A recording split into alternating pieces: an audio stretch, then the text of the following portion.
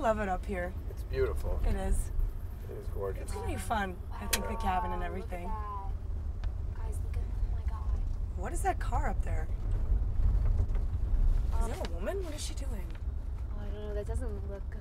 She looks like she's broken down. Well, she we should help. help. I, yeah. we don't really have time to. Uh.